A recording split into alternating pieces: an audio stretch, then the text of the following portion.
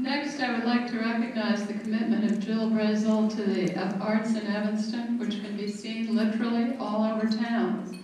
While serving as chair of the Evanston Arts Council, Jill pioneered efforts to establish Art Under Glass, the artwork displays in vacant Evanston storefront windows that brighten our downtown. Jill is constantly offering up her creative services through photography, volunteering her time covering events, or creating graphics for nonprofit organizations across Evanston.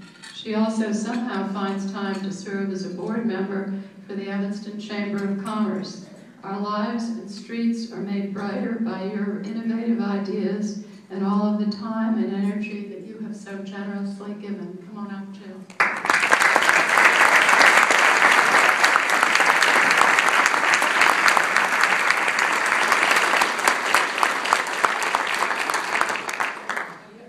You want, I'll hold it while you speak. Thank you, Mayor Tisdahl. This is such a wonderful honor. When I was first asked to chair the Arts Council, I was at a legislative breakfast, and I was a little hesitant. However, Congresswoman Jan Schakowsky spoke about how the single most important legacy left behind in- by civilization, the one thing that defined the community that they lived in, was their art. I was so inspired by this, I knew that I had to do this. I worked in Evanston in the 90s, moved here in 2001, joined the chamber uh, and opened my studio, and then joined the Arts Council, and now I'm a member of the Northwestern staff.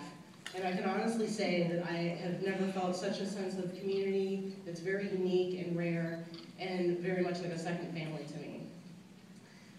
I want to thank Lois Rowade, Jeff Corey, Jill Silverman, Doug Gaynor, Paul Giddings, the Arts Council, past and present, for all of their hard work and support. I want to thank Dan and Eve and the Chamber for hosting this wonderful event and supporting my photography business throughout the years. A very, very special thank you to Penny Rothheiser, wave Penny, who has been by my side in all of my arts endeavors, is an irreplaceable asset to this arts community and very deserving of this award as well as me. Um, Thank you again, Mayor Tisdahl, for making me feel like such a part of this community.